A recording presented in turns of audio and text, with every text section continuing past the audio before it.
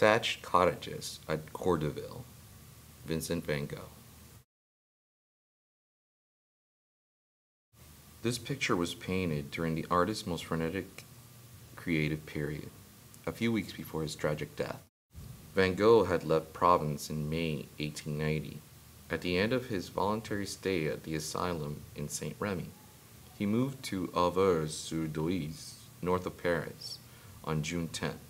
He wrote to his brother Theo that he was doing two studies of houses out in the countryside. Pissarro and Cezanne had already evoked the peaceful charm of Auvers. Van Gogh would transform it into a volcanic land where the houses seemed to have been twisted by the earthquake.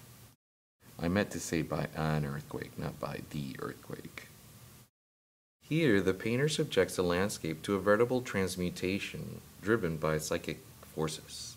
The peaceful thatched cottages, which can be seen in old photographs, seem to have been lifted by some powerful force that has dilated them.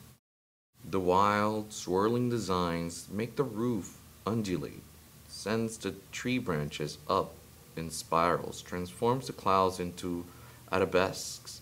Moreover, the image is worked in thick impasto, with real furrows gouged into the paint. It is clear that the, this artist is not overwhelmed as the Romantics were by the awe-inspiring landscape. On the contrary, it is he who torments and inflames the lowliest hovel and the smallest cypress tree.